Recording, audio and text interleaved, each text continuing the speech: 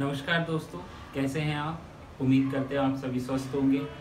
दोस्तों, आज की ये वीडियो उन लोगों के लिए खास है जो आयुर्वेदिक स्टूडेंट हैं या आयुर्वेदिक डॉक्टर्स हैं या कोई भी आम आदमी जो आयुर्वेद के प्रति अपनी रुचि रखता है, उसे जानना चाहता है, उसे समझना चाहता है। क्योंकि दोस्तों, आज हम बात करने वाले हैं आयुर्वेद के एक इंपॉर्टेंट ड्रग जिसका नाम है गुड़ूची की, या गिलोई जिसे कहते हैं। आज हम जानेंगे कि गुड़ूची घनवटी घर पर कैसे बनाए और इसके क्या क्या यूजेज है क्या क्या इसके इम्पोर्टेंस है। दोस्तों गुडूची मेनिस्परमेसी फैमिली से है और इसका बोटेनिकल नेम टिनोस्फोरा कॉर्डिफोलिया है। ये हर प्रकार के बुखार में बहुत फ़ायदेमंद है। इससे शरीर की इम्यूनिटी भी बढ़ती है, जिससे बॉडी में कई सारे इन्फेक्शन और डिज़ीज़ आने से बच जाते हैं। दोस्तों, चरक संहिता में इसको मेध्य रसायन भी कहा गया है। इसका मतलब है कि यह हमारे को, हमारी इंटेलिजेंस पावर और मेमोरी पावर को बहुत बढ़ाती है। साथ ही साथ इसके कायाकल्प गुणों के कारण ये हमारे शरीर को लंबा और स्वस्थ जीवन देती है। दोस्तों, गिलोय से काफ़ी सारी खतरनाक बीमारियाँ, जैसे क्रोनिक फीवर मलेस गाउट या रूमेटॉइड अर्थराइटिस जैसी बीमारियाँ भी ठीक होती हैं। साथ ही साथ ये स्किन डिजीजेज जॉन्डिक्स पाइल्स हर डिजीजेज में भी बहुत फ़ायदेमंद दोस्तों, इसकी मेडिसिनल प्रॉपर्टीज़ की वजह से इसको संस्कृत में अमृता भी कहा गया है। और आचार्य भार प्रकाश जी के अनुसार ये ब्लड प्यूरिफायर डिटॉक्सीफायर और इफ़ेक्टिव डाइजेस्टिव मेडिसिन है। जब हमारे डाइजेस्टिव सिस्टम में अनडाइजेस्टेड फ़ूड के कारण कई सारे टॉक्सिन बन जाते हैं तो जिसको आयुर्वेद में आम दोष भी कहते हैं, उसे ये गिलोय डाइजेस्ट करता है। और इस टॉक्सिन को आगे चल के कई खतरनाक बीमारियाँ बनाते हैं, जैसे अर्थराइटिस मलेस गाउट जैसी बीमारियाँ बनाते हैं।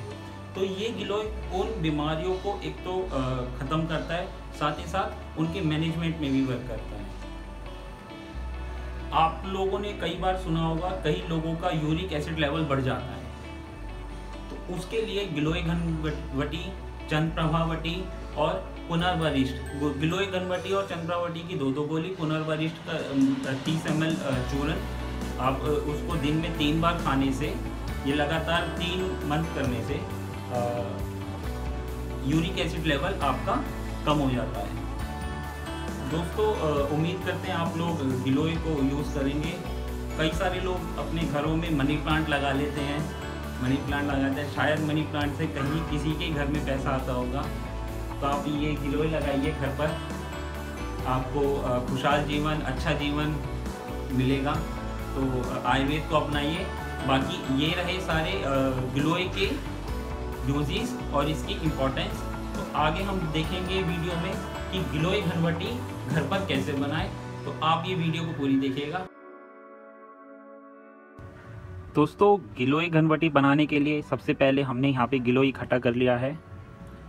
आप देख लीजिए गिलोय है ये। और दूसरा, गिलोय इकट्ठा करने के बाद हमें इससे सबसे पहले धोना पड़ेगा, जो कि इसके ऊपर लगी गंद की जो भी है, वो सारी हट जाए। उसके बाद हमें इसके छोटे छोटे पीस करने हैं, जो कि ये इमाम दस्ते में अच्छी तरह से कुट जाए। तो आइए इसको पहले हम धो लेते हैं। तो दोस्तों, आप देख रहे हैं, ये गिलोई धुलकर और कट चुकी है।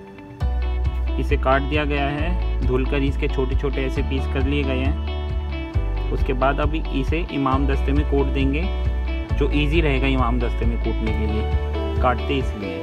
ये तो दोस्तों, अभी हम गिलोई को कूटने वाले हैं। इसके लिए हमने इमाम दस्ता ले रखा है, इसमें गिलोई लेकर।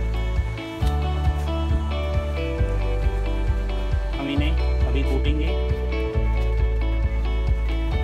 बेसिकली ये इसलिए हम कूट रहे हैं जो कि गिलोय थोड़ा थोड़ा फट जाए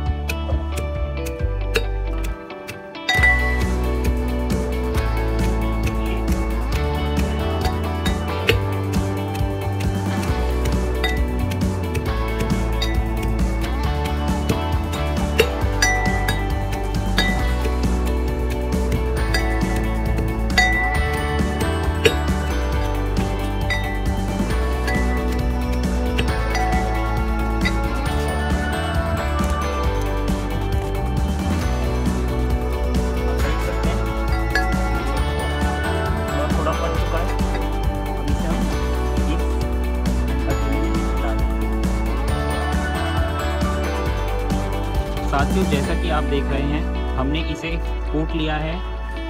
इमाम दस्ते में क्रश कर लिया है। पूरी तरीके से क्रश हो चुका है। फट चुका है देख लीजिए। अब इसका हम क्वाथ बनाएँगे। क्वाथ बनाने के लिए दोस्तों, हमें सबसे पहले ना गुरुची का वेट करना था। तो हमने वेट कर चुके हैं। ये चार किलो गुरुची है। इसके हिसाब से हमें चार गुना ज़्यादा पानी लेना है। इसके चार गु, चार गुना ज़्यादा पानी तो सोलह लीटर पानी हमें इसके लिए चाहिए क्वाथ बनाने के लिए। अग्नि पे हम इसे रखकर इसमें सोलह लीटर पानी डालकर क्वाथ बनाएँगे। साथियों, जैसा मैंने बताया था, हम गिलोय को अब क्वाथ बना रहे हैं। इसके क्वाथ के लिए हमने बताया था कि जितना गिलोय लेंगे, उसके चार गुना पानी लेना और क्वाथ बनाना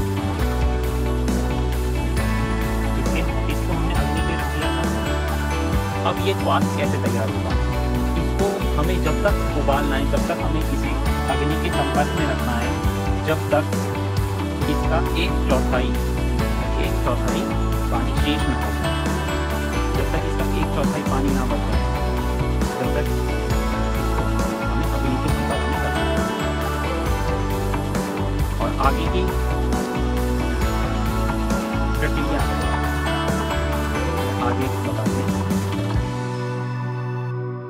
दोस्तों, आप जैसा कि देख सकते हैं कि हमारा अभी क्वाथ तैयार हो चुका है। अब हमें इस क्वाथ को, इसको छानना है, इस कपड़े से छानना है और इस पतीले में करना है। ये पानी, एक चौथाई पानी शेष रह चुका है, इसको अब हमें छानना है, इस कपड़े से।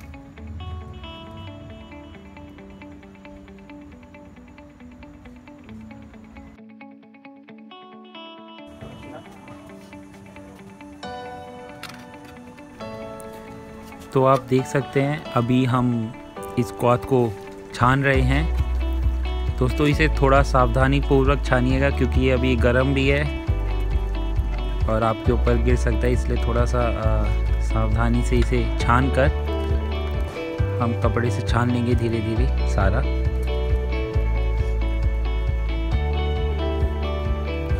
इसके बाद हम इसका कल्क बनाएँगे। क्वाथ को हम अच्छी तरह छान लेंगे कपड़े से।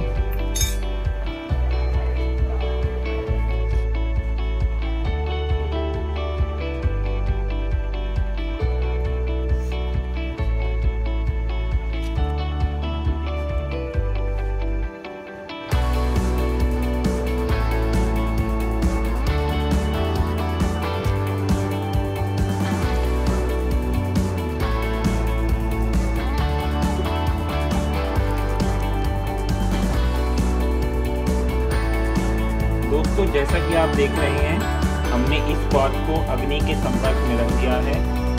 अब इसका जो लिक्विड पार्ट है, वो इवेपोरेट हो जाएगा।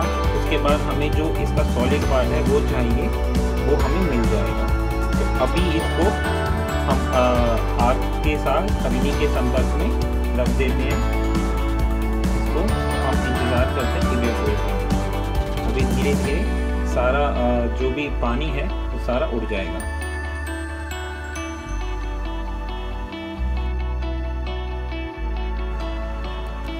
दोस्तों जैसा कि आप देख सकते हैं ये हलवा टाइप बन चुका है और हमारा नीचे का सॉलिड पार्ट हमें मिल रहा है धीरे धीरे। आप ये सोच रहे होंगे कि ये बहुत कम है। एक्चुअली मैंने छोटे पतीले में थोड़ा सा क्वाथ निकाल लिया था तो उसका ये गल्प बना है। आप देख सकते हैं। और बहुत अच्छी खुशबू भी आ रही है, आपको मैं बता नहीं सकता। काफ़ी अच्छी खुशबू है। अब इसकी हम बटी बना लेंगे टैबलेट फॉर्म दोस्तों, आप देख रहे हैं, अब हमारी ये गुरु की घनवटी यानी गिलोई घनवटी तैयार हो चुकी है, जो हमारा तल्क निकला था घन निकला था, उससे हमने ये गुरु की घनवटी बना ली है। इसमें हमने थोड़ा गुरु पाउडर भी मिलाया है, जो कि ये थोड़ा सा ड्राई हो जाए, और ये वटी की तरह तैयार हो जाए।